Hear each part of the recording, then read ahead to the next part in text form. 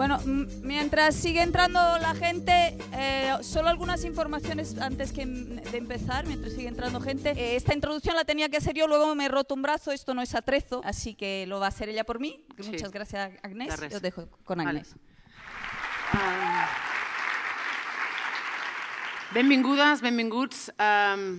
Bé, el que veurem avui aquí és un espectacle basat en fets reals. Però eh, us hem d'explicar com comença tot això i que això que veurem eh, ho ha destapat la gent normal i corrent, perquè això és una cosa que no se sap. Bé, ells no s'han presentat, ella és la Simona, és directora de teatre, ell és l'Alfa, és químic, i ells pertanyen al col·lectiu Xnet. Com milers d'altres persones, de gent normal i corrent, Xnet participen del 15M i el primer aniversari del 15M a Plaça Catalunya, eh, Xnet comença l'acció 15M per rato. La idea de 15M per rato és demostrar que això que alguns que en diuen crisi, i que tots sabem que és una estafa, té responsables amb noms i cognoms.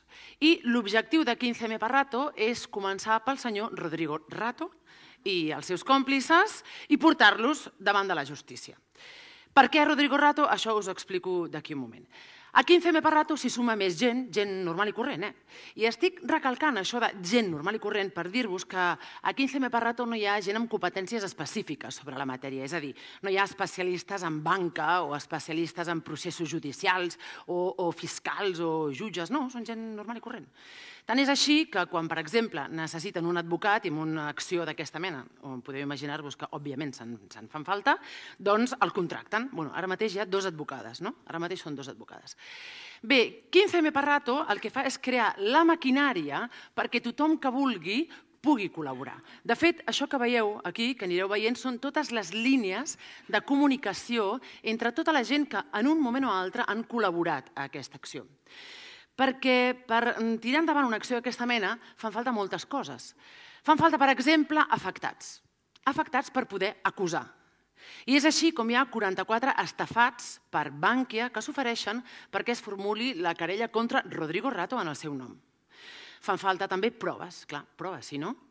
I ells, eh, des de Xnet, obren una bústia online, anònima, on tothom que vulgui en pot, eh, pot aportar de proves. Aquesta bústia s'habilita primer en Minilix, després ho fan ells mateixos des de la Comissió Anticorrupció del Partit X i finalment sobre la bústia Xnet. Què és aquesta d'aquí? Us l'ensenyem perquè és una bústia que de fet continua oberta, està vigent, per tant, eh, si qualsevol de vosaltres té proves i les vol aportar, doncs ho pot fer aquí anònimament o no, això ho decidiu cadascú de vosaltres. I bueno, aquesta és, bueno, us pregaríem que no ho feu durant l'espectacle, ho feu quan arribeu a casa, a partir de demà, quan vulgueu.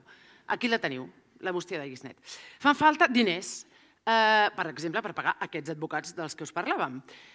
No sé si sabeu, bueno, ells tampoc ho sabien, eh? i ara ja ho saben, que per acusar a un banquer fan falta més o menys uns 15.000 euros cada any i mig.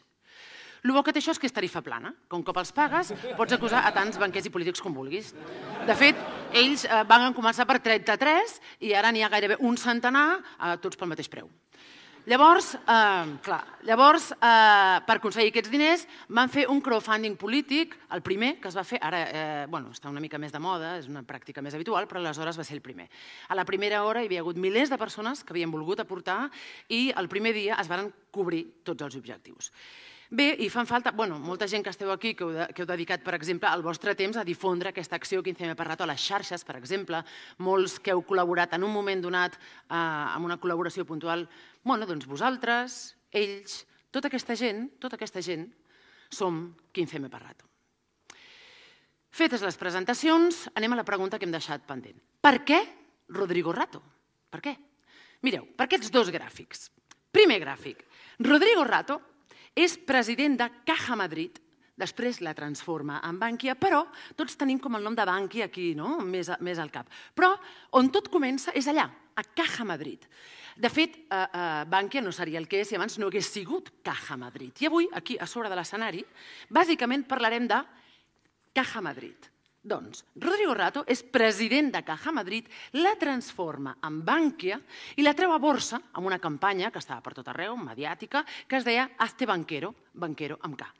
Doncs, als set mesos d'haver tret aquesta campanya a borsa, Bankia es desploma i arruïna a les 300.000 persones que havien confiat en aquesta campanya. Segon gràfic. És el gràfic del primer rescat bancari a Espanya. Ens fixem, amb el total són 10.000 milions d'euros. Això són milers de milions d'euros, ho dic perquè aquí faltarien eh, 6 zeros, però no ens hi cabien. Però llavors, són quantitats que potser no estem molt acostumats, no? però aquesta nit el nivell és aquest. Milers de milions d'euros, no? parlem amb, només aquesta nit, però us hi hem d'acostumar. Llavors, d'aquests 10.000 milions d'euros, bueno, falten 200 i pico milions, però ara no ens posarem piquets, no? o sigui, arrodonirem. D'aquests 10.000 milions d'euros, eh, gairebé la meitat van a parar a Bànquia, abans Caja Madrid. D'això se'n desprèn que la setena part del forat de, de la crisi a l'economia de l'estat espanyol la fa Bànquia tota soleta. La gent de Xnet veien aquests gràfics i deien, a veure, com pot ser, com pot ser que cap analista pseudofinancer o cap tertulià, al veure aquests gràfics que estaven a tots els mitjans eh, eh, fa, bueno, com va començar la crisi, es posin una pregunta que ens posem nosaltres, la gent normal i corrent, al veure això, que és, si hi ha un banc que fa un forat d'aquestes dimensions a l'economia d'un país, els directius d'aquest banc són uns dels responsables del creix econòmic d'aquest país. I qui era el directiu de Caja Madrid d'Estrès Banqui en aquell moment? Gràcies. Rodrigo Rato. I aquí ho tenim, 15M per Rato. I així comença la seva acció. Obren la querella com a acusació particular a l'Audiència Nacional que es coneix com el caso Bankia. I aquí ho tenim. A destacar, aquesta, aquesta campanya comença molt abans que partits com, per exemple, UPyD s'apuntessin al carro. O, o abans que ens fessin creure que el cas Bankia l'havia destapat doncs, un fiscal, un jutge, un ministre, un partit polític, la premsa... No. El cas Bànquia el va destapar la gent, la gent, la gent normal i corrent. Ells sempre diuen que això no és una cosa personal amb el senyor Rodrigo, no? allò, Rodrigo, no.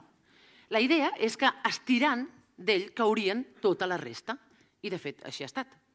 Van començar per Rodrigo Rato i 33 directius imputats, i ara, quatre anys després, hi ha gairebé un centenar de banquers i polítics asseguts a la banqueta i pendents de judici. Aquí els teniu. Aquesta és la paleta de colors, perquè la paleta de colors és ampla, oi? Doncs a molts d'aquests els veureu d'aquí una mica, bueno, d'aquí uns instants, circulant per aquí sobre de l'escenari. Bé, doncs semblaria que ja està, no? no? Ja està, ho tenim tot fet, ja està. Doncs no, no. Perquè el problema no és això. En tota aquesta aventura, ells de sobte han descobert una cosa que no s'esperaven. A seure a la banqueta, a, a banquers i a polítics, doncs resulta que no és tan complicat. O sigui, és relativament senzill. El que és de veritat difícil, molt difícil, realment complicat, és lograr que l'opinió pública sàpiga que això pot fer tothom. Que això ho ha fet la gent normal i corrent. Que tothom ho pot fer. I encara més, ells, durant aquest procés, clar, rebien informació verídica de primera mà, diguem, no? La tenien entre les seves mans i veien com el que ens arribava a nosaltres, l'opinió pública, era tota una altra cosa. Per cada 10 periodistes que col·labora, hi ha 10 mitjans que passen per sobre de la veritat. O per cada candidatura genuïnament popular o ciutadana que n'hi ha, que ha col·laborat i ha recolzat, hi ha un partit, i més dolorós és quan és un partit que s'anomena Nou, que els hi deixa ben clar. O te apuntas a nuestras filas y llevas nuestra marca, o te borramos del mapa como posible competidor. Bé, per tot això, eh, ells han decidit agafar aquesta història i portar-la aquí, a sobre de l'escenari. I com ho faran? I amb això acabo. Doncs partint de la prova més important que han descobert. Mireu, eh, enmig d'aquest procés, un dia entra un mail anònim, aquesta bústia online de la que us parlàvem. El mail diu el següent. Tengo una información de mucho volumen que creo que dibuja un quadre claro de la corrupció institucional en Espanya. I quina informació resulta ser? Els correus de Blesa, és a dir, els correus de mail enviats i rebuts pel senyor Miguel Blesa, president de Caja Madrid abans que ho fos Rodrigo Rato. Bé, això era meravellós. Era la història de com es munta una crisi, la nostra crisi, vista des de la sala de màquines.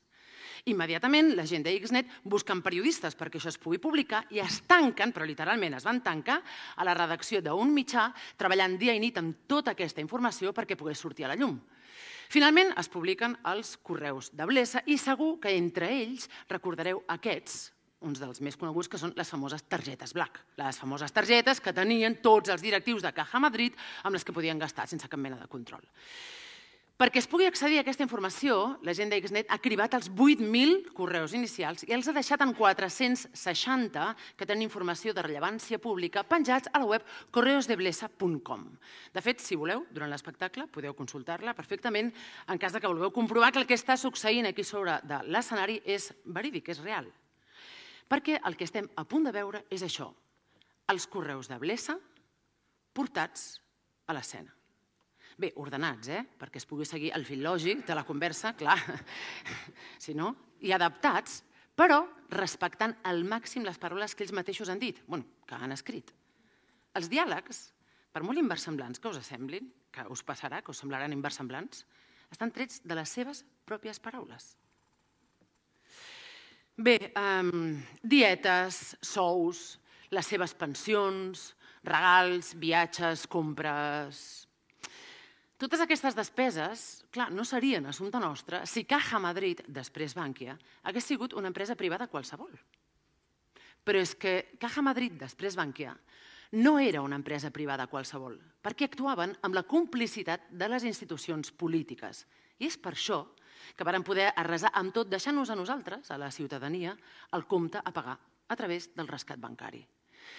Aquest és un comptador que anireu veient durant tota la funció, on aniran pujant les quantitats que van apareixent aquí sobre l'escenari fins que assumin aquest compte, que és el que ens han deixat a pagar. 147.000 milions d'euros. Bueno, hem arrodonit una mica, a la baixa. El seu pla, com el de tots els governs corruptes, eh? o sigui, aquí a tot arreu, era que nosaltres paguéssim aquest compte sense dir ni mu. Però això no ha estat ben bé així. Estem a punt de veure una part de la nostra història recent explicada en les paraules dels protagonistes que la van orquestrar. La història de com les èlits que governen saquegen un país. Però també la història de com la ciutadania, organitzant-nos, hem fet que la veritat surti a la llum. I de com, entre totes i tots, la gent, la gent normal i corrent, sabent i explicant el que de veritat va passar, estem canviant al final previst. Esteu preparades? ¿Preparados? Uh, por favor, presidente, por favor. Por favor, presidente. ¿Cómo que? Bueno, ya, es que, que no quiere venir, ya lo sabemos, pues que tiene que venir. Presidente, por favor, aquí tiene unas escaleras.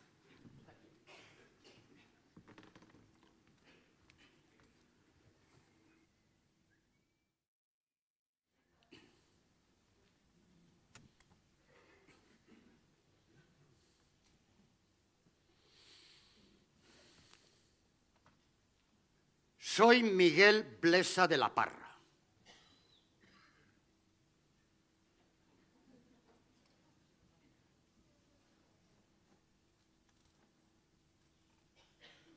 Nací durante la posguerra en Linares, provincia de Jaén. Tras estudiar Derecho en Granada, preparé oposiciones a inspector de Hacienda con José María Aznar. Aprobé las oposiciones con José María Aznar y elegí plaza en Logroño con José María Aznar. Años más tarde, la prensa dijo que yo era uno de sus dos únicos amigos, junto con Juan Villalonga. Ejercí diversos cargos en la burocracia del Ministerio de Hacienda hasta que a mediados de los 80 me establecí como abogado tributario. Mi despacho aparece en los papeles de Bárcenas como el que supuestamente asesoraba en la justificación de sobresueldos a los dirigentes del PP y que gestionaba sociedades pantalla con las que el partido movía el dinero de la caja B.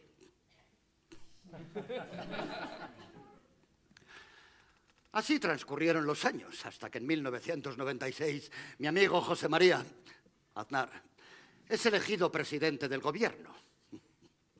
Sea por el cariño sea por los servicios prestados, me nombran candidato a la presidencia de Caja Madrid, mientras su otro amigo, Juan Villalonga, es nombrado presidente de Telefónica. Me nombran presidente de Caja Madrid con los votos del PP, de Izquierda Unida y de Comisiones Obreras, y gracias a la abstención del PSOE. Estos mismos votos me permitirán permanecer en el poder hasta 2009. Trece años. Los años que unos llaman del milagro económico español y otros llaman los años de la burbuja financiera. En cualquier caso, al menos para los que movíamos los hilos, fueron los años de ordeñar. Si solo tienes dos amigos, ¿por qué poner uno al frente de Caja Madrid y el otro al frente de Telefónica? Bien, todos los presidentes de España han querido tener su propio grupo mediático. Aznar no iba a ser menos. De ahí que Juan Villalonga acabara en Telefónica. Pero no hay poder real sin el poder de la bolsa, del IBEX 35. Por eso me nombran presidente de Caja Madrid. Comienza así la odisea política para convertir una simple caja de ahorros en el gran grupo empresarial del PP. Porque hay que decir que, según la ley, las cajas de ahorros se diferenciaban de los bancos por mantener su función social, siendo entidades dedicadas a mejorar las condiciones de los pequeños ahorradores, de los jóvenes, de los mayores y de las familias, y dedicadas a financiar obras y servicios necesarios para la comunidad. Estamos en el año 2006 y son vísperas de elecciones en Caja Madrid. Vísperas de mi reelección. Tras diez años en la presidencia, estoy en la cumbre. Pero, ¿en qué consiste mi imperio y cómo funciona? Veamos. El presidente, o sea, yo, encabezo el comité de dirección, donde mis hombres de confianza ocupan cargos de directivos en todos los diferentes departamentos. Mi más estrecho colaborador es Enrique de la Torre, secretario general de Caja Madrid. Enrique de la Torre llegó a Caja Madrid tras haberse ocupado como directivo de la dura para los trabajadores, de la dura reconversión de la industria siderúrgica. 304.818 euros gastados con su tarjeta Black. Lo interpretará Josep de ahora en adelante, el secretario. Ah, Bueno, como veréis, no se parecen demasiado. Josep es calvo, con barba, pero oye, cada uno es como es, ¿no? Según la ley, la actuación de los directivos de las cajas debe estar sujeta a vigilancia interna y externa. La vigilancia interna debe ser ejercida por un consejo de administración en el cual se reparten los puestos partidos, sindicatos y otras organizaciones, ¿no? como por ejemplo la patronal, ¿no? o similares, a partir de los votos recibidos en las elecciones o del número de afiliados que tenga cada uno. ¿no? En última instancia, esta gestión debe ser refrendada por una asamblea que bueno, viene a ser más o menos lo mismo, tal vez un poco más grande, pero bueno, podéis creerme, no tiene mayor relevancia. Por lo que refiere al control externo, debe ser ejercido por todas estas instituciones. Y finalmente, colocaremos en este esquema un personaje, a Rodrigo Rato, quien será finalmente su sucesor, aunque en ese momento todavía no lo sabíamos. Rato es un banquero de pedigrí, ¿eh? de familia de banqueros, que en aquel momento era director del Fondo Monetario Internacional, después de haber sido vicepresidente segundo del gobierno Aznar y ministro de Economía y Hacienda. Rato es claramente la gran esperanza blanca del PP. ¿no? El tipo estaba ahí situado para acabar siendo primer ministro. ¿no? En fin, para aclararnos un poco sobre cómo funciona todo esto, empecemos por ver cómo trabaja la Fundación Obra Social Caja Madrid. Según la ley, la auténtica razón de ser ¿no? de cualquier caja de ahorros, en fin, es su alma benéfica. ¿no?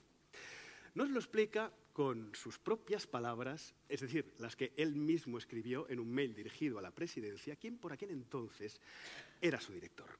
Rafael Spotorno, interpretado en este caso por Elías, quien a partir de ahora interpretará a su vez el resto de personajes que vayan apareciendo en la obra, pero no os tenéis que preocupar, ¿eh? porque no os vais a perder, ya que utilizaremos el clásico truco de ir cambiándonos de corbata así como también eh, de vez en cuando de chaqueta. ¿no? Sí. Creo que incluso vas a interpretar uno sin corbata. Voy a hacer dos. Dos.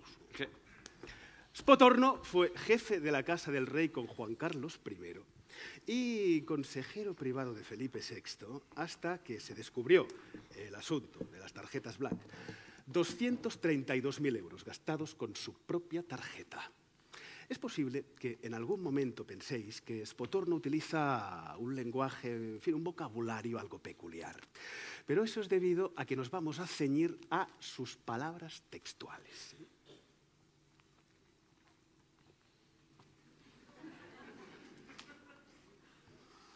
Nosotros, al ser obra social Caja Madrid, no trabajamos con entidades. sino mejor dicho, con sensibilidades. Por eso las ayudas que aprobamos son a fundaciones ligadas a las distintas sensibilidades representadas en el Consejo de Caja Madrid. Las cifras no deben, pues, computarse fundación a fundación, sino sensibilidad a sensibilidad. Hecho así, resulta que si el monto total de las ayudas este año ha crecido un 15,6% sobre el año anterior, la sensibilidad PP ha crecido este año un 16,6%, porque mientras FAES, presidida por Aznar, ha subido un 48,9%, Fundescam, la otra fundación que el propio PP identifica como subvencionable, ha visto disminuida su ayuda. En definitiva, las dos fundaciones próximas a esta sensibilidad han recibido este año en total 503.000 euros. Hace poco, Xnet filtró otros documentos por los que se supo que a la sensibilidad PP le acabamos dando un total de 5.300.000 euros durante los años en los que yo estuve aquí. La sensibilidad comisiones obreras ha recibido este año un 20,45% más. Reparten el total entre dos fundaciones pero sin que se hayan puesto de acuerdo en el seno de las propias comisiones sobre una de ellas. Por lo que al final hemos decidido nosotros para desbloquear la situación. Comisiones obreras, cuyo apoyo fue clave para que yo pudiera mantenerme en mi puesto durante 13 años, recibió un total de 2.500.000 euros. La sensibilidad eh, PSOE distribuye un total de 460.000 euros, igual que el año pasado, no entre dos, sino entre seis fundaciones porque así lo deciden ellos mismos. A lo largo de los años han cambiado varias veces de fundaciones beneficiarias, algunas más o menos vinculadas a UGT. La Fundación para el Estudio de los Problemas de las Ciudades acaparó el 80% del total del dinero que iba a las fundaciones del PSOE, 3.400.000 euros apenas desarrolló ninguna actividad conocida. Ah, y Espotorno en este mail no nos informa de la situación de Izquierda Unida, pero Fundeste, la fundación mediante la que Ángel Pérez, jefe de Izquierda Unida Madrid, la financiaba y que estuvo 20 años sin presentar cuentas, recibió un total de 1.700.000 euros sin contar con los más de dos millones de euros en créditos sin devolver. Ah, por cierto, hablando de perdón, también perdonamos el 72% y el 80% en créditos al PP y al PSOE respectivamente. Bien, son todas estas sensibilidades las que tienen a sus hombres en el Consejo y en las varias comisiones.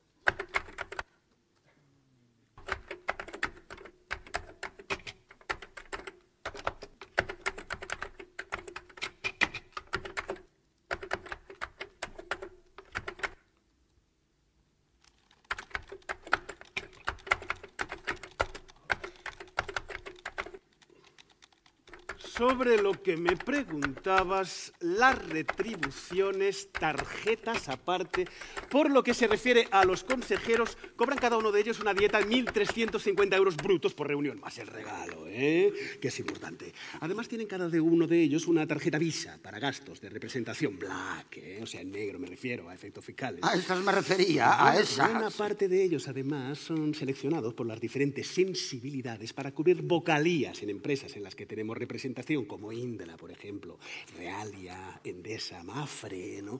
En esa la dieta es de 1.803,04 al mes, salvo agosto. Antonio Romero, del PSOE, pues cobra una dieta mensual en una filial de 9.969,48 euros netos al mes. Bedía y Vaquero, que estamos hablando de comisiones obreras, de 6.480 netos al mes y los demás están en 2.379 netos al mes. Por fin, en cuanto a tarjetas Black, los vicepresidentes cobran unos 50.000 euros anuales y los demás tienen una cobertura de 25.000.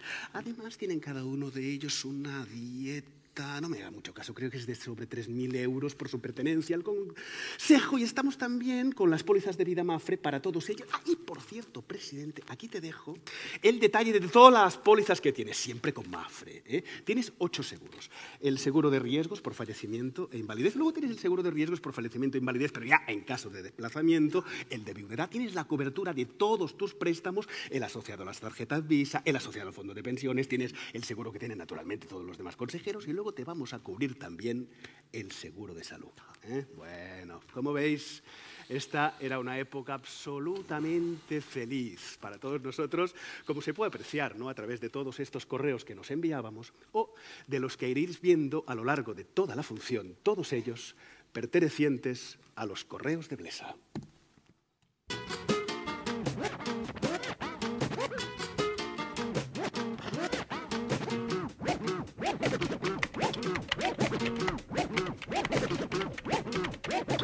He hablado con Paco y me dice que encantado. Que le llames y te lo acerca a casa. Tiene el caviar Sebruga a mil euros el kilo, pero nos aconseja el beluga royal, que en la calle lo vende a cuatro mil. A nosotros nos lo deja a 1.600. Merece la pena. Cómprale un cuarto de cada y pruebas. Un abrazo. Acabo de hablar con la agencia y me dicen que en el Ritz de South Beach eh, no hay habitaciones normales con vistas al mar. Lo que nos ofrecen es la suite con vistas por 1.100 euros noche. Para Nueva York he pedido una habitación por encima de la planta 31 y con vistas al parque. Si prefiere otra cosa, dígamelo. Presidente, cambiaremos entre dos y cuatro veces al mes el coche. Le iré actualizando. Os mando las fotos que hicimos en la montería. Un abrazo. Hola Miguel, te mando las fotos de ayer. A cada cazador le correspondería un gasto diario total de 30.600 dólares. Un abrazo y hasta pronto. Querido Miguel, te comento la factura de tus animales y demás del safari de Tanzania. Tazas de abate, 9.563 dólares. Asistente de campo del señor Blesa, 1.203 dólares. Cervezas, celebraciones, 154 dólares. Elefantes de selección. Zimbabue, desde enero hasta abril. 10 días de caza, incluido abatimiento de un elefante de selección a 5.900 euros. Cada elefante más son 3.000 euros. Cada cazador puede matar hasta 5 elefantes. Cuando imprime este correo no olvide reciclarlo, porque el papel es el soporte de lo más humano, la palabra. ¿Es esta la silla que buscaba? Club Striker Happy Adjustable Shooting Bench. ¡Sí, señor! Era una época absolutamente feliz para todos nosotros, independientemente si nuestra sensibilidad era más PP, PSOE, Izquierda Unida, comisiones, UGT. Estos son los vinos para no tener que cambiar de añada durante la comida del Consejo. Hay más elección para los directivos, pero sin los sublimes, que son de uso exclusivo de la presidencia. Sauterne Ramon Lafont 2002, 104 euros la unidad. Sauterne Chateau d'Yquem 2002, 747 euros la unidad. Sauterne Ramon Lafont 2002 a 152,25.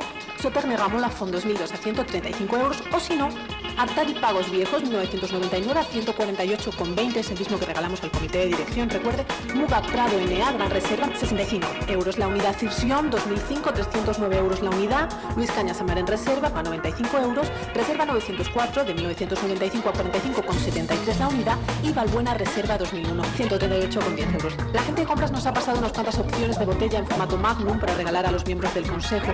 La idea es regalar a cada uno dos botellas. ¿Qué tal tu Ferrari? Fantástico, pero no está hecho para 120. He llegado a 240. Te mando tres iPods con radio y altavoces reloj despertador con un huevo de potencia. 7000 canciones. Recuerda que este es el regalo de la Asamblea y a la Comisión. Asamblea de la cual era miembro, dicho sea de paso, Pedro Sánchez, por aquel entonces ya representando al PSOE. Me confirman que se han encargado 50 unidades de lectores de libros digitales modelo Box Devolver a un precio de 326,75 euros más IVA. Muchas gracias, pero qué generosidad la tuya. Miguel, he seleccionado como regalo para el Consejo por Navidad un reproductor Blu-ray Sony que me dicen que es lo último y para el comité un maletín Montblanc y ordenador muy chulo. Como he pedido stock de más, algunos se llevarán los dos.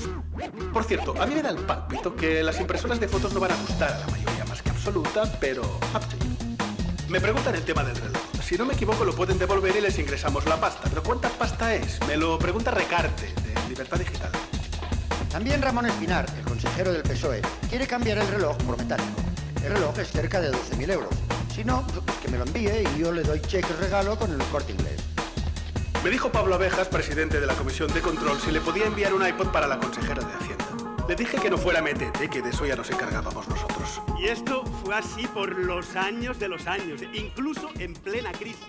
Por ejemplo, en el 2008... Para la asamblea de noviembre regalaremos el televisor Sony al Consejo, Comisión de Control y Comité y el teléfono Nokia a los consejeros generales. Para la asamblea de tu tercera reelección irá el iPhone. Recordad que ese iPhone lo tiene Pedro Sánchez. Voy a guardar las esculturas para la asamblea de julio y en la de junio vamos a regalar un ordenador portátil Toshiba de 120 GB pequeño, ligero y la leche. Y al Consejo, Comité, Comisión, además un teléfono HTC con GPS. Creo que gustará mucho.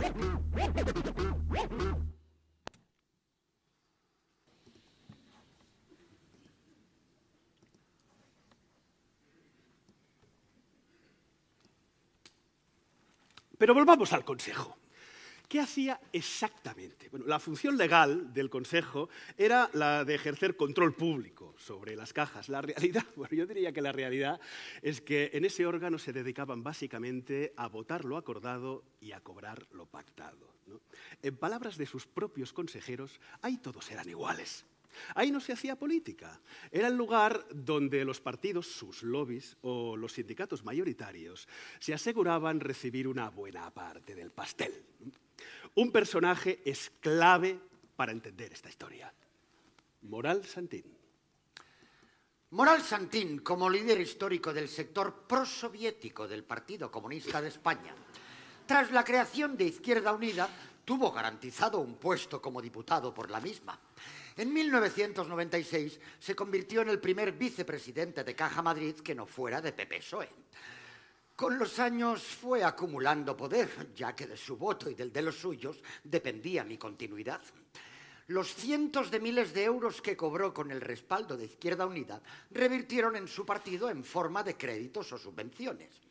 Moral Santín gastó un total de 456.522 euros con su tarjeta Black.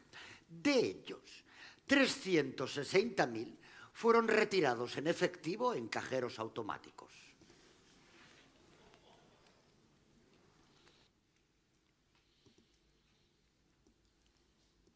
Presidente Antonio Romero del PSOE ha dicho que es favorable a votar en nuestro favor y en contra del criterio de su partido, pero solo si le garantizamos que la votación está ganada. Moral Santín, de Izquierda Unida, ha dicho que él cree que el voto debería ir junto con la actualización de las dietas de los consejeros.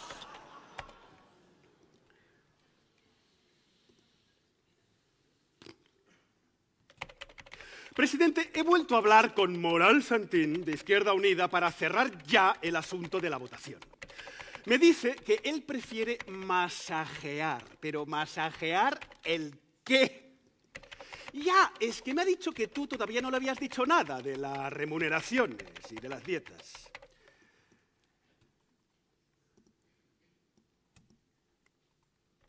Me ha llamado un miembro del Consejo para comentarme que Moral Santín le ha llamado informándole de sus gestiones para mejorar la retribución de los consejeros.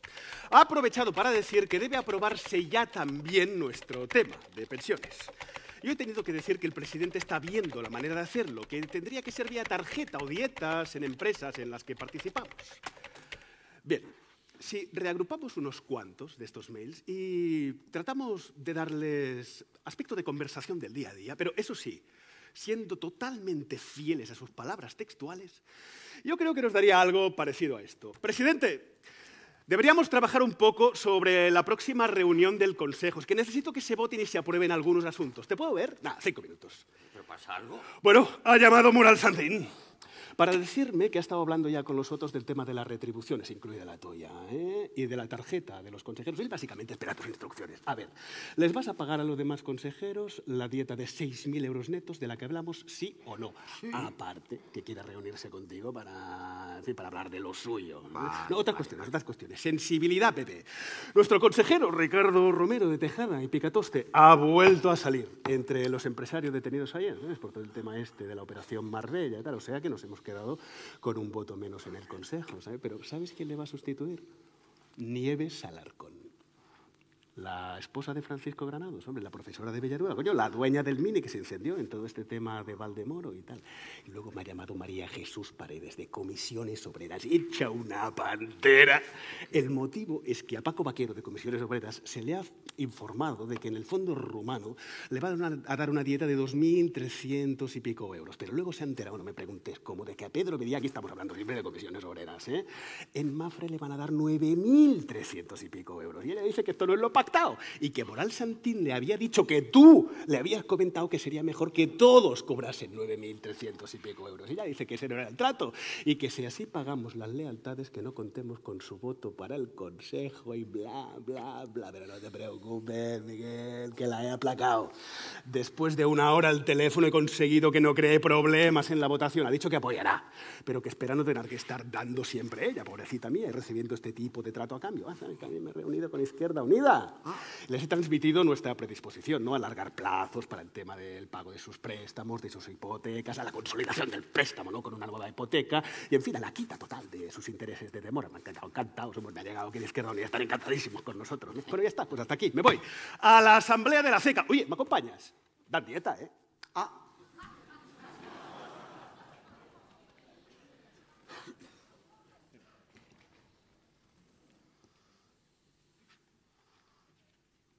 Pero os preguntaréis, cuando trabajábamos, cuando hablábamos de economía, de finanzas, cuando teníamos que decidir qué hacer con el dinero que disponíamos por vuestros ahorros, los ahorros que nos habíais confiado, ¿qué hacíamos exactamente?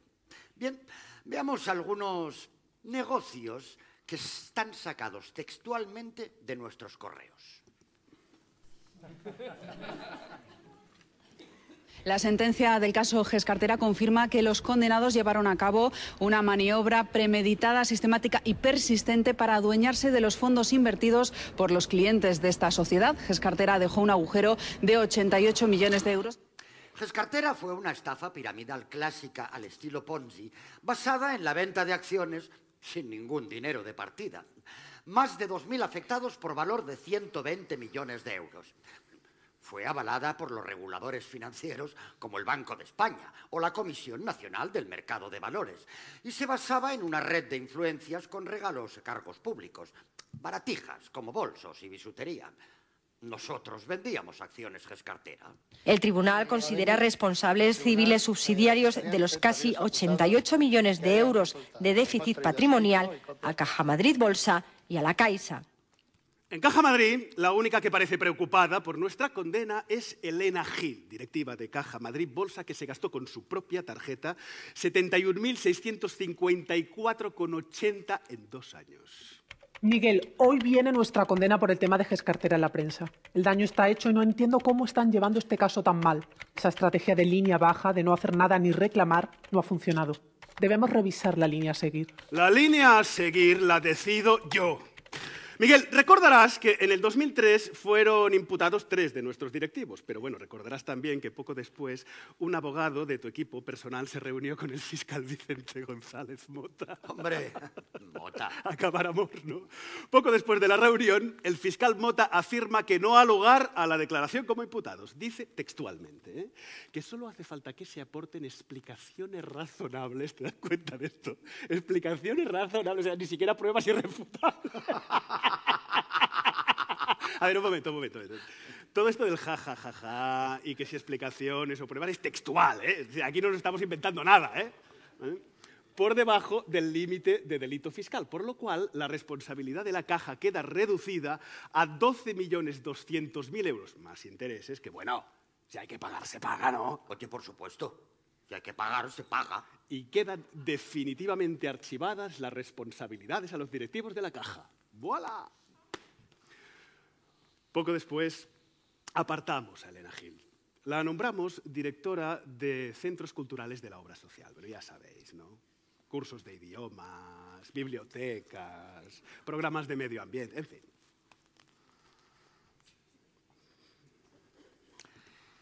Las preferentes, como todos sabemos, son un producto tóxico financiero con el que los bancos estafaron a más de 700.000 personas, la mayoría pensionistas y pequeños ahorradores. Tuvieron su punto álgido entre 2009 y 2011, y aunque este producto ya circulaba de forma marginal desde 1990, el que lo convirtió en el producto estrella del negocio bancario fue él, Rodrigo Rato que siendo ministro de Economía modificó la ley legalizando de facto esta estafa. El producto que vendíamos era deliberadamente farragoso, ¿no? pero en realidad se trataba de una estafa muy simple. Una vez habías puesto tu dinero en preferentes porque te habían hecho creer que se trataba de una renta fija, sin riesgo, sencillamente no volvías a verlo nunca más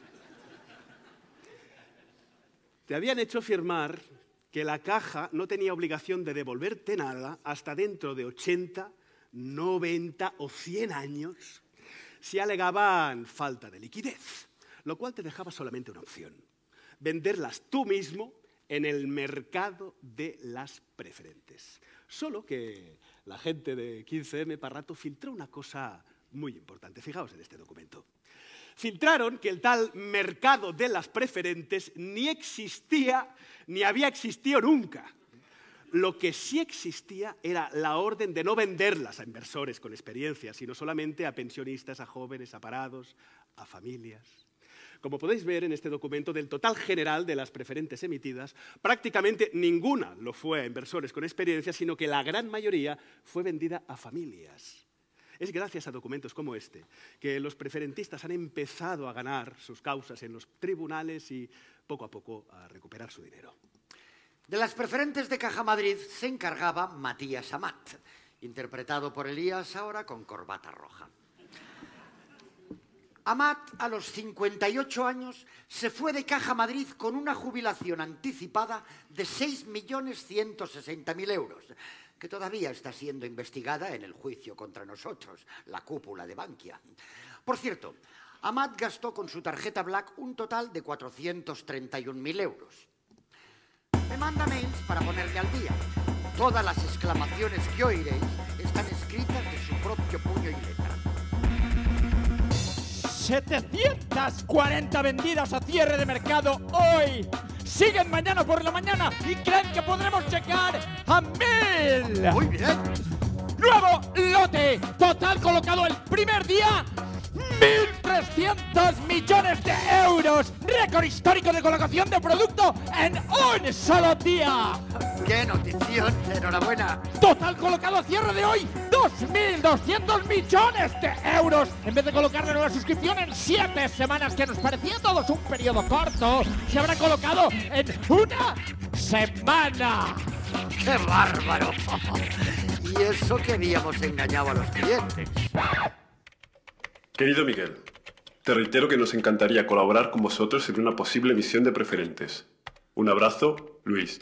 No, para, para, para un momento aquí, para, fijaos en esto, fijaos.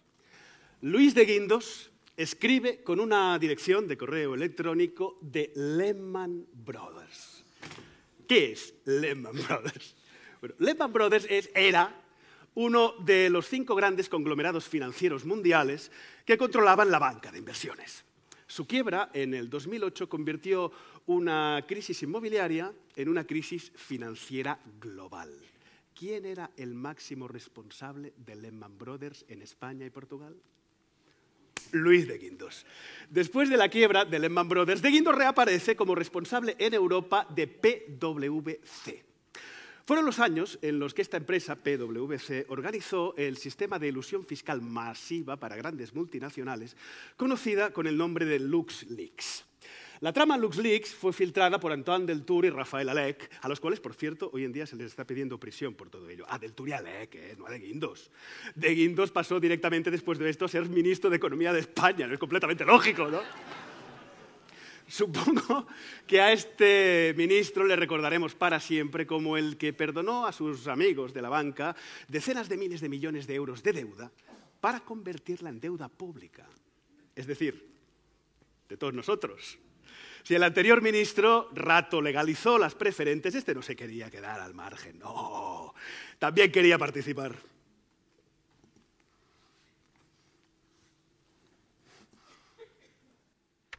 Presidente, el director de oficina, el señor Pérez, fue de los más activos en la colocación de las preferentes, 2.200.000 euros. Pero ahora tiene órdenes de venta por importe de más de 300.000 euros de sus clientes que quieren recuperar su dinero. Uno de los clientes titular de 25.000 euros ha debido de llegar a amenazarle.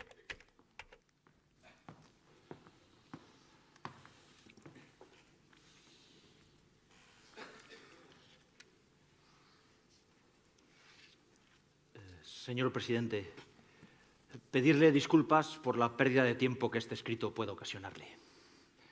Ante mi profunda desesperación decidí llamarle. Al no ser posible el contacto por su ocupación evidente, yo paso a relatarle de manera resumida mi problema. El pasado jueves fui citado en Madrid por el Departamento de Recursos Humanos y me comunican la suspensión de la relación laboral con Caja Madrid. Imagínese cómo me encuentro. Todo viene por la valoración de mi actuación con las preferentes. En la sucursal en la que trabajaba como director sufría graves amenazas, una vez hasta con navaja, hacia mi persona y familia, por parte de los clientes que querían recuperar su dinero. Y no viendo otra salida, pues opté por solucionar los problemas de mi bolsillo, devolviendo yo mismo el dinero a los clientes. Esta es mi equivocación. O error. Pero insisto, no tuve ningún apoyo y en esos momentos críticos, pues pues no veía otra salida. Señor presidente, con la mano en el corazón, tengo una edad difícil para el tema laboral. Me quedo desamparado y principalmente mis dos hijos. No es mi intención dramatizar, pero es lo que siento.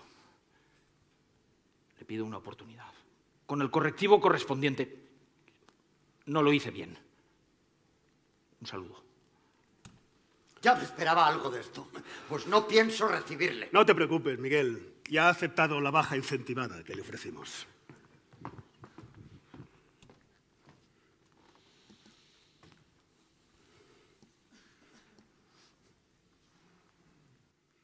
Presidente, previsión de ganancias en ámbito de la demanda de vivienda. Desde el año 2000 hasta ahora, el número de hogares creados, es decir, las personas que se casan, se independizan o se separan, es de unos 3 millones.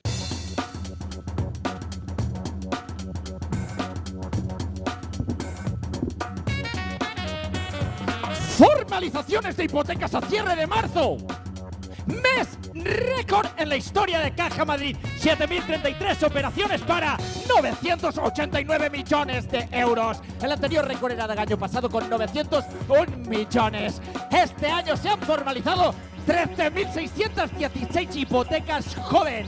En la propuesta que planteamos a la Comunidad de Madrid para los jóvenes, el tipo para estas hipotecas es el más alto de todas las comunidades autónomas. Si alguien se queja, podemos plantearnos una pequeña reducción y la compensamos con la prima de asistencia a la Junta de Endesa.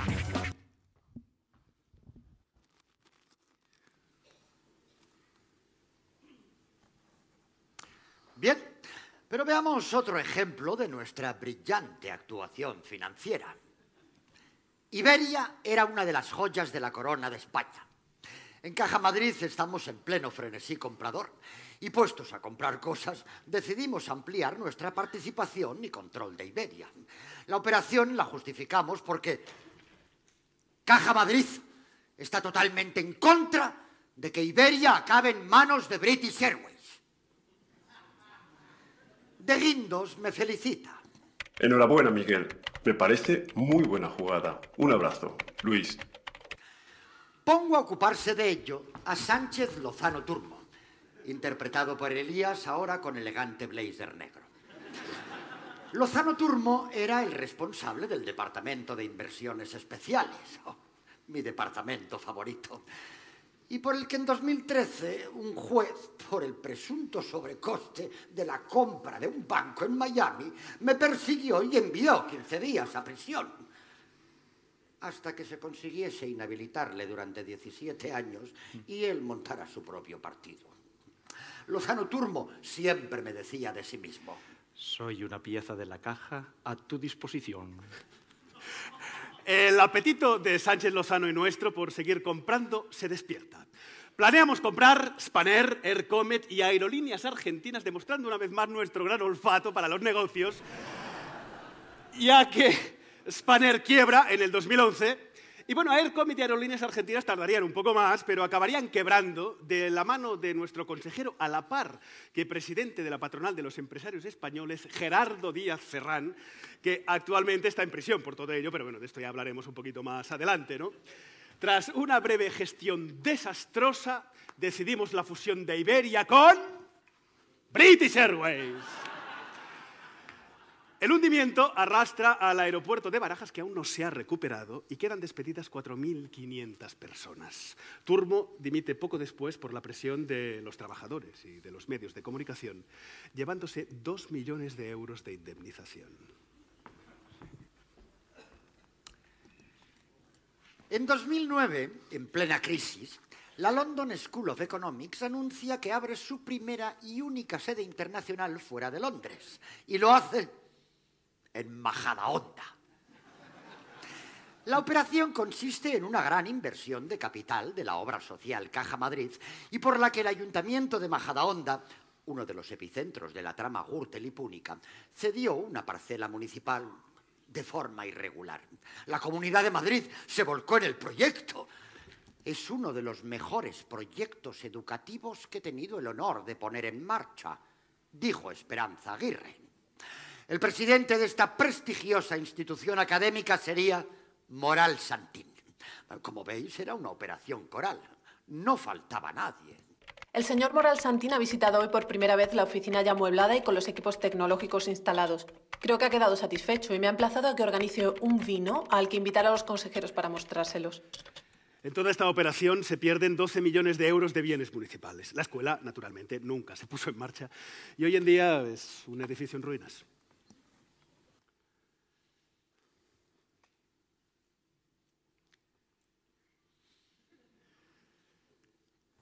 Gerardo Díaz Ferrán.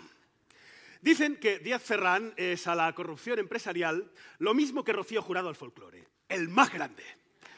Fue elegido presidente de la patronal de los empresarios españoles y en solo tres años se convirtió en referente de la corrupción para todo el mundo.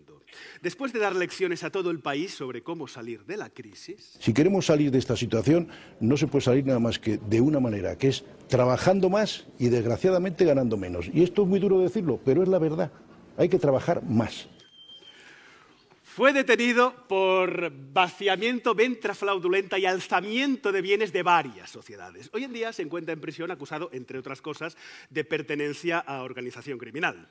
Es muy difícil enumerar todas las causas que siguen abiertas en su contra. Los mails que veréis ahora a continuación también son sobre él. Está tieso. Les faltan 50 millones porque los bancos no les han renovado el crédito. Promete el famoso mandato de venta, como hizo con Seguros Mercurio. Pero claro, como Seguros Mercurio quebró, el precedente no es muy bueno. Eh, Matías, eh, solo como información, el mandato de venta ya nos lo hizo Gerardo Díaz Ferrán con otra compañía en diciembre de 2004 y nunca nos pagó. Al año siguiente volvió a hacerlo, en las mismas condiciones que el anterior. Volvió a pasar lo mismo. Igualmente apruebo el préstamo.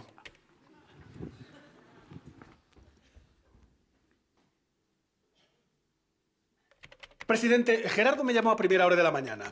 Me insistió en que necesitaba 3 millones para hoy mismo y un préstamo líquides de 50 millones. Pero sobre esto último no corría tanta prisa.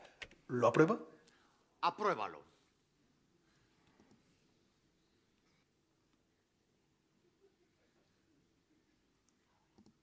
Gerardo tiene llamadas mías en su fijo y en su móvil para que devuelva el préstamo. No las atiende. El notario alucinando. Hoy es el ultimátum que le dimos a Gerardo para pagar. No hay noticias.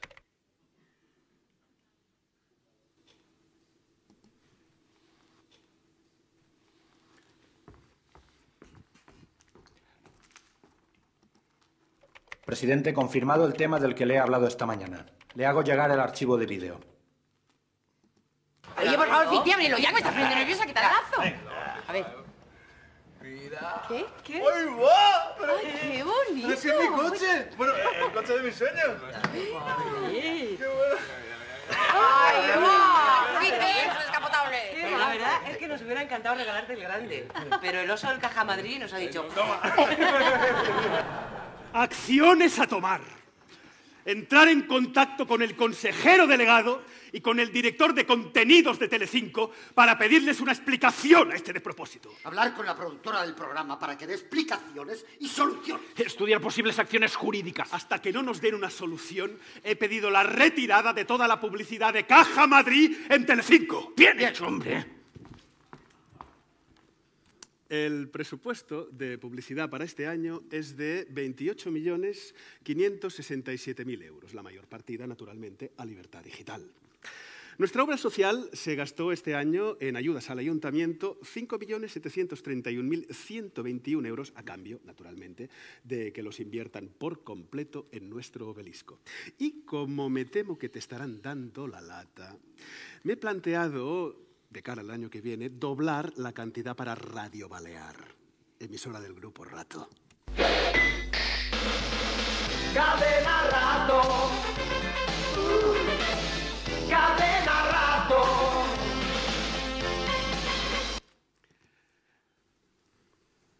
Bueno, pero no os tenéis que preocupar, ¿eh? Hombre, no, hay gente que vigila.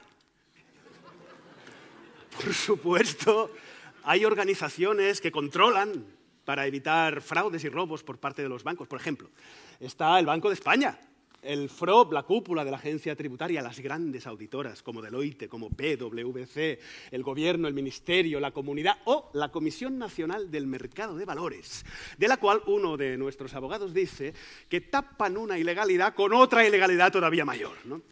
Si preguntáis a estas instituciones, no tienen ni idea ¿eh? de lo que son las puertas giratorias.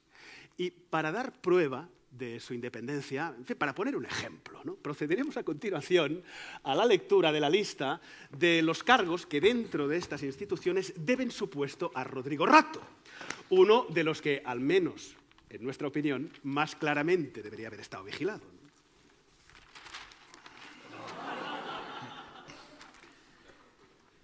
Beatriz Viana pasó de ser la jefa del gabinete de Rato a directora de la agencia tributaria. Allí se negó a investigar los cargos y excargos del Estado que se habían acogido a la amnistía fiscal y tras dimitir para evitar que un informe de su departamento perjudicara a la infanta, en el caso de los DNI, se retiró en la Comisión Nacional del Mercado de Valores. Eh, per- perdona un momento, tengo la impresión que esto va a durar un momentito, ¿no? Poquito. Sí. Es que debemos hacer un cambio de escenografía. Si nos importa, ponemos un poquito de música para amenizar y, y cambiamos la escenografía y vosotros seguís. Entonces, queríamos pedir al público una ayudita apenas a los chicos de la, de la banca aquí que están leyendo esta lista tan larga. Eh, veréis que hay unos coros, son muy fáciles. Son veis una, escucháis una palabra que os gusta, la repetís después sobre la música, pero suavito, ¿eh? El resultado queremos algo suave, suave, no, nada de gritar nada, si os apetece, y si no, no. Gracias, perdonad, ¿eh? Elvira Rodríguez Herrera. Con rato fue nombrada directora general de presupuesto. Presupuesto. Y es desde el 2012 presidenta de la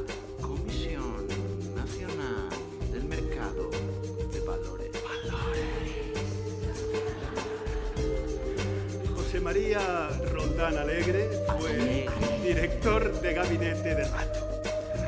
Tras un breve descanso en la Comisión Nacional del Mercado de Valores, fue director general de regulación del Banco de España durante la época gloriosa del saqueo de Caja Madrid y Bankia. Desde 2014 es presidente de la Asociación Española de Bancos. Belén Romana García. Con rato, llega a directora general de política económica.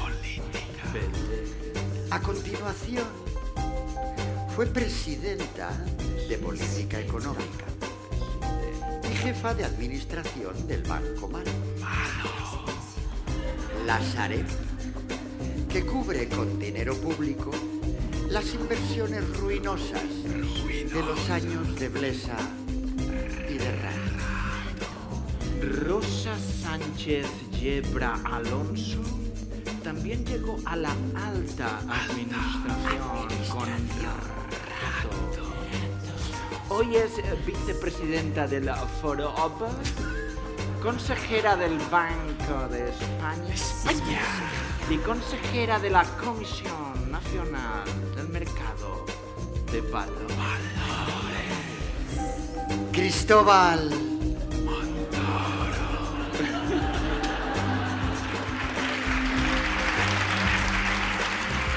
Fue nombrado, fue nombrado secretario de Estado de Economía con Rodrigo Rato. A partir de ahí fue ministro de Hacienda durante el asunto de las tarjetas blancas. Y responsable de la amnistía fiscal a la que se acogió Rato, entre otros de sus muchos amigos. Y no tenemos que olvidarnos de los avales del PSOE, de Solbes, Zapatero, Elena Salgado, Miguel Ángel Fernández Ordóñez Ecas, gobernador del Banco de España, cuya entrada de la Wikipedia solo tiene dos apartados, biografía y negligencia. Decíamos del PSOE, dos ministros de Economía, un jefe de. Gobierno.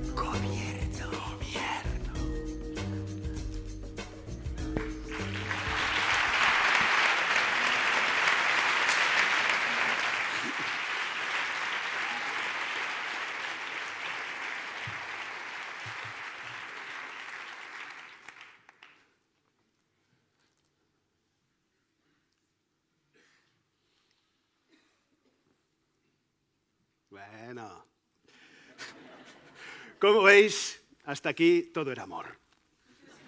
Armonía. Vivíamos felices, ajenos a un peligro que se cernía sobre nosotros. Un peligro en forma de cláusula. Una maldita cláusula legal que decía que los consejeros no pueden seguir ejerciendo como tales más allá de los 12 años. El primero en cumplir esos 12 años es Pablo Abejas, interpretado, como no, por Elías, en este caso con una interesante chaqueta sport. ¿Quién es Pablo Abejas? La carrera en el PP de este ingeniero de telecomunicaciones fue meteórica. Compaginar todos los cargos que tenía pudo llegar a convertirse en un verdadero quebradero de cabeza. ¿no? Pero, ¿por qué era tan importante Abejas para nuestra historia? En el PP hay varias familias enfrentadas. Los esperancistas, es decir, la gente de Esperanza Aguirre, está históricamente enfrentada a la familia aznarista, la cual le colocó a él dentro de Caja Madrid. La Comunidad de Madrid, controlada por los esperancistas, bajo ningún concepto quiere que Abeja se vaya, porque perderían a su hombre dentro de la caja. Pero al mismo tiempo ven con muy buenos ojos que la gente de nuestro bando, que nuestros aliados, vayan cayendo gracias a la maldita cláusula de los 12 años. ¿eh? Lo ven como una oportunidad de oro para ganar control dentro de Caja Madrid. No nos engañemos, ¿no? Caja Madrid para el PP era la gallina de los huevos de oro. ¿eh? Era el pozo sin fondo que financiaba sus planes, ¿no? sus deseos. ¿no? Era el dinero que financiaba sus alianzas. Pablo.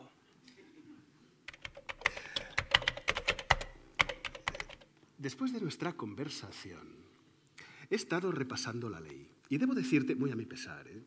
que a su tenor, a mediados de enero cumplen tus 12 años. Está llena de absurdos ¿eh? y de elementos discriminatorios, pero mi conclusión es muy clara. Se te acaba.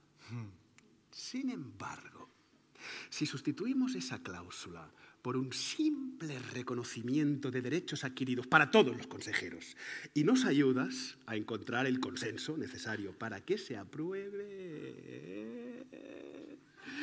se podría solucionar. ¿Mm? Un abrazo. Enrique.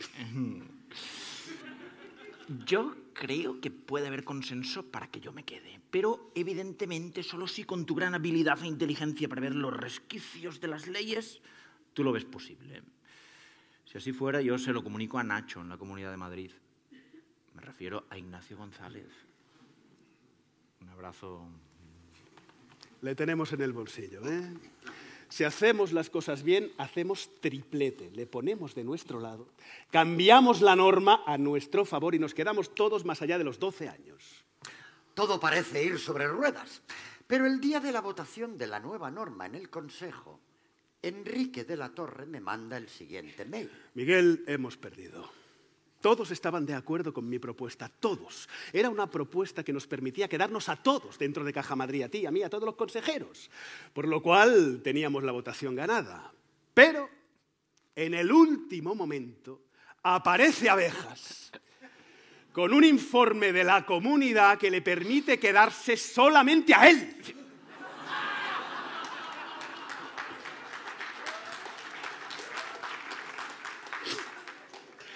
Y nadie dice nada. Todos inclinan la cerviz, todos, incluidos sus líderes, y se aprueba.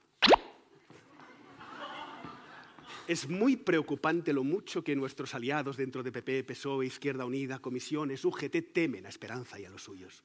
Están dispuestos a votar en contra de sus propios intereses simplemente para complacerla. Tengo mucho miedo de lo que estén planeando de cara al 2010 para evitar tu reelección. Y es que los demás consejeros se dan cuenta del peligro que se cierne sobre ellos. Prácticamente todos están a punto de cumplir los 12 años, pero todos quieren continuar dentro de Caja Madrid. Por eso todos juegan a dos bandas. Todos quieren ser amigos de ambas facciones del PP hasta que se decante cuál será la ganadora. Lo veréis por los siguientes mails que me mandan mis hombres de confianza justo después de la votación que acabamos de perder. Presidente, He hablado con María Jesús Paredes, de Comisiones Obreras. Está un poco revirada. ¿eh? Es que no se aclara. O sea, me ha dicho que ella entiende que el pacto PP, Comisiones Obreras, Izquierda Unida se mantiene, ¿no? Sí. Y que tenía que, que apoyar al PP, ¿no? Sí. Pues por eso ellos e Izquierda Unida han votado a favor del informe de la comunidad, no del nuestro. Aunque ella sabe que somos del PP, han votado a favor del de abejas, que es del PP, ¿no? Es así, ¿no? Me dice. Miguel, he estado hablando con el consejero Antonio Cámara. 121.000 euros gastados con su tarjeta Black, que es exsecretario personal de José María Aznar. Oye, que por cierto, te mando un abrazo. Está completamente de acuerdo con nosotros. Bueno, a ver, él ha votado a favor de Abeja y en nuestra cuenta por disciplina de voto, pero piensa que todo esto es una chapuza, ¿eh? Si está muy cabreado con la comunidad, hombre. Dice que lo mejor que podría hacer Abejas es aceptar una salida airosa y gratificada, porque aquí al final los beneficiados van a ser nuestros enemigos. Bueno, en fin, nada, que me pidió que te lo contara. Castañeda, consejero de Izquierda Unida, dice que hubiésemos tenido que explicar mejor el sentido del voto a todos los consejeros. No podéis pretender que en el Consejo de Administración de Caja Madrid seamos capaces de entender un balance contable o un informe jurídico. Oye, es que cuesta, ¿eh? Ignacio Navasquez Cobian, del Sindicato de Directivos. 175.000 euros gastados con su tarjeta Black. Este dice que esto es una encerrona, que nadie le ha avisado. Bueno, a ver, él ha votado a nuestro favor por coherencia, claro, pero ahora van diciendo por ahí que Siblesa está muerto y encima le consta que a los consejeros del PSOE les están ofreciendo puestos en empresas públicas, semipúblicas o amigas para que se vayan sin oponerse a la comunidad. Claro, el tipo piensa que se ha pillado las manos manteniendo su voto favorable a nosotros. En fin, que se ha quedado bailando con la más fea. Pues yo ya he hablado con Antonio Romero del PSOE, 252.000 euros con su tarjeta Black y a este le veo muy bien. Joder, si me ha dicho que en el PSOE podemos fiarnos de Zapatero, pero no de Tomás Gómez. Y no debe tener mucho futuro en la política. Por eso se agarra a Caja Madrid como a un clavo ardiendo.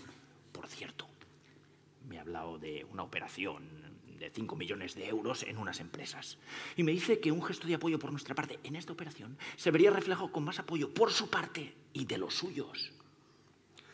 Peligra tu reelección. ¿eh? Nuestra continuidad, la de todos.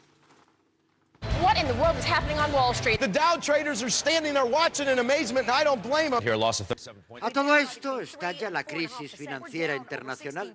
Pero en España el establishment político y financiero evidentemente la niega. De hecho, Zapatero ganará su reelección con la negación de la crisis como mantra electoral. No estamos en una crisis económica. He recibido una magnífica impresión del entorno zapatero sobre ti, tu gestión y tu exquisita prudencia. Convendría intensificar contactos. Y es que a diferencia del mencionado límite de los 12 años y del control de Caja Madrid, este asunto de la crisis no parece provocar ningún tipo de disputa entre nosotros, la élite política española. De hecho, en todos nuestros mails, los mails que estáis viendo durante toda la función, la palabra crisis tan solo aparece cinco veces, a diferencia de palabras muchísimo más importantes como pueden ser retribuciones, que aparece unas 53 veces. Mientras la ciudadanía con V de vivienda clava el diagnóstico alertando sobre la burbuja inmobiliaria, en el gobierno y en el mundo de las finanzas seguimos negando la evidencia, como podéis ver en este mail. A ver, es que no tiene sentido que el contable incluya en su presentación a la Junta el peligro de las hipotecas subprime. Dice que si las vendemos necesitamos saber lo que son. Absurdo, hombre. Estas presentaciones las carga el diablo. Una deuda de más de 5.000 millones de euros, la inmobiliaria Martinsa ha protagonizado la mayor quiebra empresarial de la historia española. La suspensión de pagos de la mayor inmobiliaria del país, Martinsa, ha provocado un Cuando cataclismo quiebra en la Martín bolsa. Safadesa se da por inaugurada la crisis en España. A pesar de que en esa quiebra Caja Madrid pierde mil millones de euros, lo único que hacemos es liquidar al hombre que tenemos de número dos en Martinsa, Carlos Vela, 281.000 euros gastados con su tarjeta Black. Porque mientras fuera todo se derrumba, para nosotros hay cosas muchísimo más importantes. Tras su despido, le he confirmado a Carlos Vela que el alquiler de su Porsche no lo vamos a pagar nosotros. Se ha enfadado. Dice que no era lo negociado. Que la crisis no va con nosotros. ¿Por qué? Pues porque seguimos haciendo dinero y manteniendo nuestro tren de vida. De hecho, esta época es la edad de oro para la venta de productos financieros tóxicos. ¡Sacamos un producto nuevo! En 10 días hemos captado 630 millones de euros y ayer 95,3. Ha sido el día de mayor captación en la historia de Caja Madrid. Los productos que ofrecemos son Relájate y disfruta. 6x5 y Barrilete Cósmico. Barrilete cósmico. Barrilete cósmico. No, no, no, no, no, no os ríais, que esto no es broma. ¿eh? No es broma, no. Va totalmente en serio. En plena crisis de las hipotecas basura, el gobierno y los reguladores aprueban estos productos, la televisión los publicitó. Por cierto, con este anuncio de la empresa de publicidad en la que trabajaba su hija, y la gente los compró, a la desesperada. Llegados a este punto, tenemos que presentar a un personaje que hasta ahora había pasado totalmente desapercibido. Ildefonso Sánchez Barco, director general de Caja Madrid, interpretado, como no, por Elías, ahora con una exquisita corbata de seda ocre a rayas verde aceituna. En el confidencial podemos leer que a Barco, dentro de la caja, le llamaban el lado oscuro. Su poder provenía del conocimiento que tenía de todos los secretos dentro de la caja en la que estaba desde 1978. Ostenta el récord de tarjetas Black con un total de 572.000 euros. Por mucho que uno se hubiese esforzado para llegar a lo más alto de la entidad y ganarse mi confianza, no era buena idea contradecir a Barco. No, no era buena idea. Lo veréis por los mails que se mandan entre ellos y que representarán el fin de Enrique de la Torre, aunque él todavía no lo sabe. Defonso, Defonso. A ver, teniendo en cuenta que en el 2009 vence el mandato de nuestro presidente, habría que prever que se consolide el derecho a indemnización si un directivo es degradado, en fin, si no es reelegido. Habría que decidirlo, ¿no? Una cantidad única, ¿no? Vitalicia, su carácter personalísimo, en fin, hereditario, algo así. Esto lo dijo así, ¿eh? Textual. El presi está cubierto, no te preocupes. Además, nunca le pueden degradar, o es presi o no. Punto. No solo estoy pensando en el presidente. A ver, tú imagínate que en el 2009 no he reelegido y a ti te mandan de comercial a lucha. No es solo al presidente a quien hay que proteger. Miguel, Miguel, Miguel. Miguel, seguro que entiendes que un asunto tan delicado como este no puede quedar al arbitrio del director que esté en el 2010. Seguro que ves que cuando tú no estés, yo no solo no voy a durar, sino que más de uno me perseguirá. Pero no lo consigue. No consigue sacar las garantías suficientes, por lo que Enrique de la Torre decide irse de Caja Madrid y dejarme solo ante la dificultad. Alfonso, ya me voy. Que quiero cerrar en enero una renta vitalicia con Mafre a favor de mi esposa y mío, el que nos dan una buena rentabilidad. Y es para ese compromiso que te pediría que me confirmases las cantidades que me dijiste el otro día para mi salida, incluidas dietas y jubilación anticipada. ¡Ah! Y me iría muy bien también que me confirmases si puedo dar por finiquitado el préstamo hipotecario que tengo con Caja Madrid, que creo que actualmente está en 200.139 euros.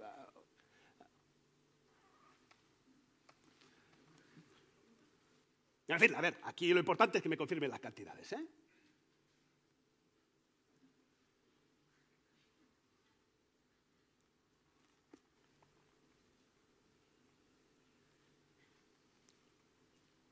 Presidente, enero, pues es como diciembre, ¿no? Es un mes con pocos días hábiles. El compromiso que yo tengo con Mafre no va más allá de enero. Pues necesito la baja, en forma de cese amistoso, como tú y yo convenimos, pero Ildefonso, desde nuestras oficinas, no está dando un solo paso. Y, en fin, esto a mí me está generando una gran inquietud. Muchas gracias por tu comprensión. Ildefonso, feliz año. ¿Enrique sabe que lo de su cese no es posible? Ante todo, feliz año. No, no nos ha preguntado, pero como él está tan bien asesorado, podría, debería saberlo. Enrique, me comentan que cesar amistosamente no es posible, que es una contradicción. Ildefonso, que el presidente se empeña que no existe cese de mutuo acuerdo. A ver, a ver, cesar en todos los diccionarios es dejar de desempeñar un empleo o puesto, nada más. Miguel, Miguel, Miguel, Miguel, a ver, cesar en todos los diccionarios es dejar de desempeñar un empleo o cargo, nada más, nada que ver con amistoso o no. Hagamos lo que tú y yo convinimos en ese papel, que tú y yo sabemos para lo que fue firmado y que se va a quedar en ese ámbito, ¿eh? porque aquí estamos entre caballeros y así terminaremos este tema, por Dios, antes de que termine enero. Págale.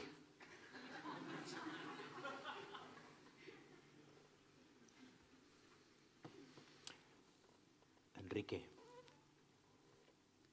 estará todo en enero.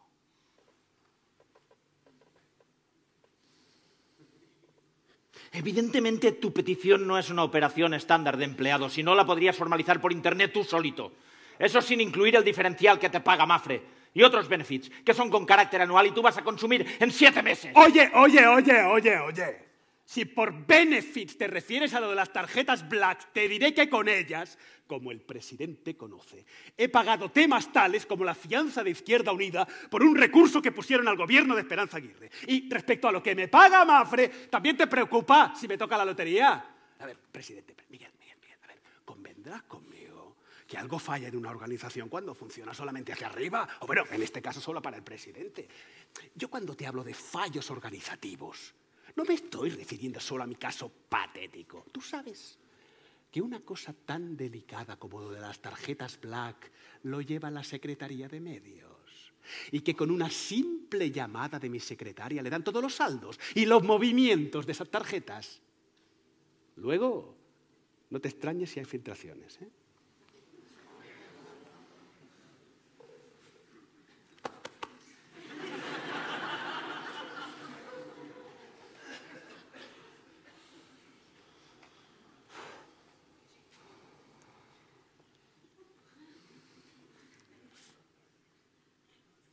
Pues ahora me gustaría quedarme.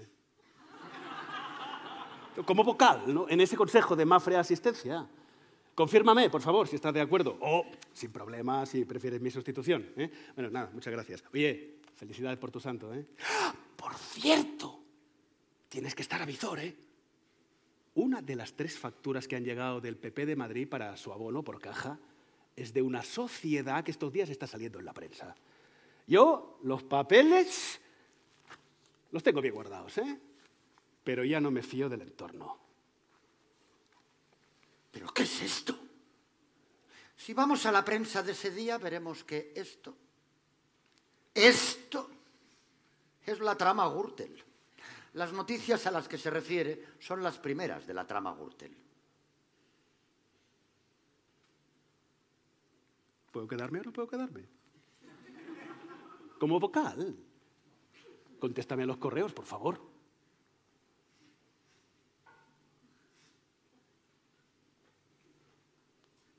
Ya nadie le contesta. Será por eso que cuando es llamado a declarar en el caso Bankia por el, asunto de las tarjetas Black, Enrique tira de la manta. Declara que él se encargaba de entregar los plásticos, pero que actuaba como un mero intermediario de la dirección. Dice que yo me ocupaba de fijar los límites de gasto y que Ildefonso se ocupaba de la operativa. Mientras, en el frente de los 12 años, todos se dan cuenta de que la Comunidad de Madrid quiere hacer la cama a todo el mundo. ¡Cunde el pánico! Ahora sí, ahora todos quieren arrimarse a mi bando. Yo la verdad es que estoy hecho un lío porque ya no sé quién está conmigo y quién está contra mí. No sé con cuántos votos puedo contar y dejo constancia de ello en mails con listas y listas en las que intento que me cuadren las cuentas.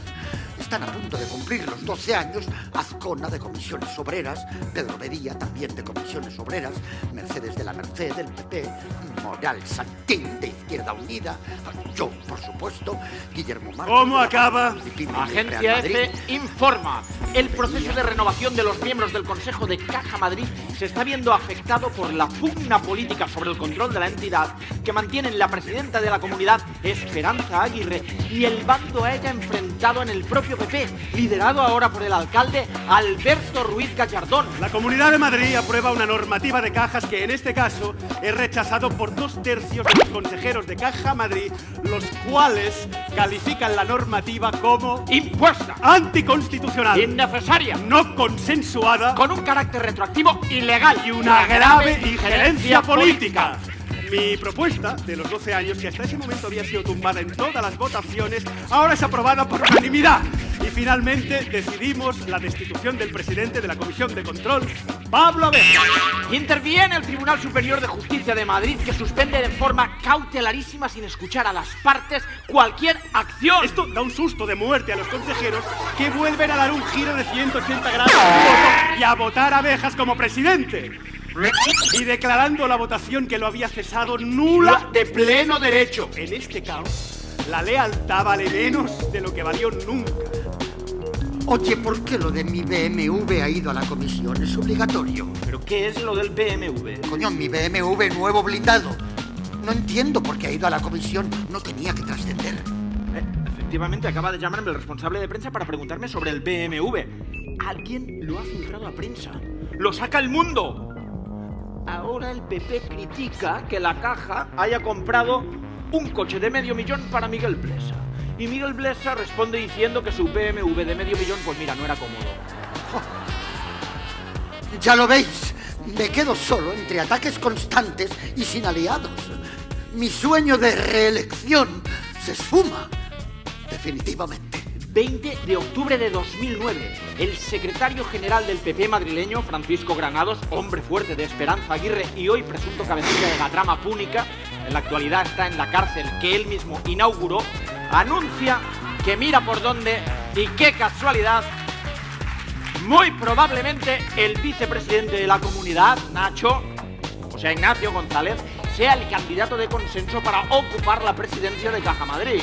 Del otro lado, entre otros candidatos para la presidencia, se baraja un nombre, el tapado Rodrigo Rato. El vicealcalde de la ciudad de Madrid, Manuel Cobo, califica como de vómito lo que personas cercanas a Esperanza Aguirre están haciendo para evitar que Rato sea nombrado presidente de Caja Madrid. Diciembre de 2009, Rodrigo Rato y Tomás Gómez, líder del PSOE de Madrid desde el Tamayazo hasta su destitución por las investigaciones policiales de los sobrecostes del tranvía de Parla, que costó tres veces más que la misión espacial que alcanzó la órbita de Marte ese mismo año, alcanzan un acuerdo con la bendición de Zapatero. Rato se compromete a respetar el pacto de esperancistas, PSOE y sindicatos para la transformación de Caja Madrid en una nueva gran entidad. Bankia. El mejor o uno de los mejores ministros de Economía. Extraordinario presidente de Caja Madrid. Una persona muy adecuada para presidir una entidad financiera. Y así, el exministro de Economía, Rodrigo Rato, alcanza la presidencia de la que será la cuarta entidad financiera de España.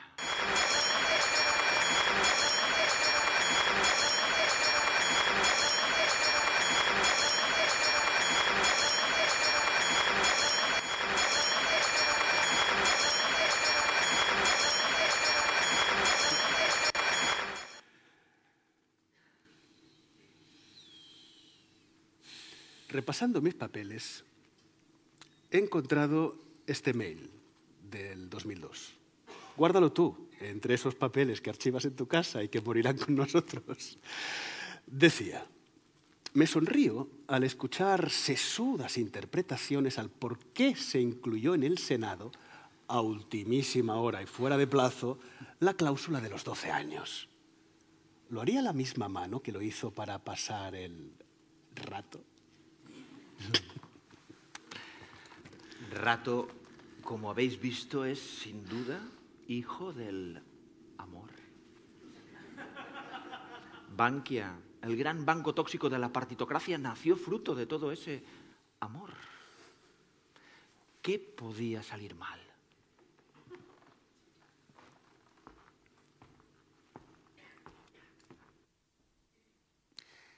Habría sido un final feliz.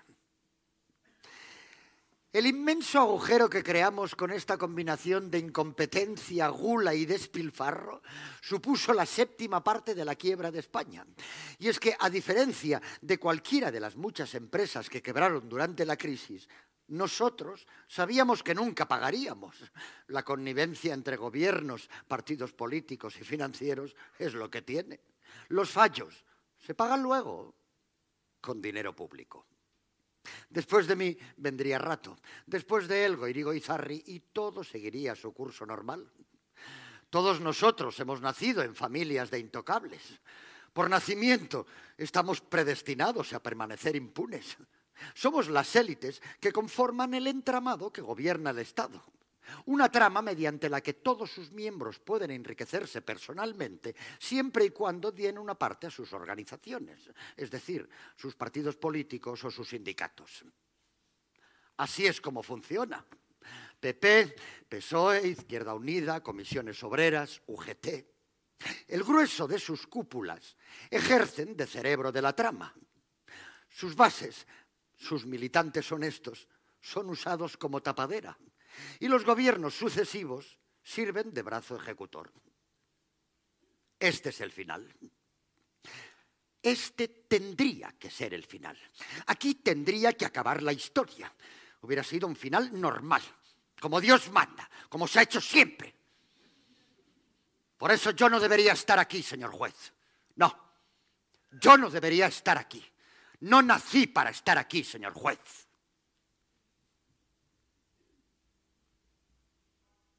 Pero lo estoy.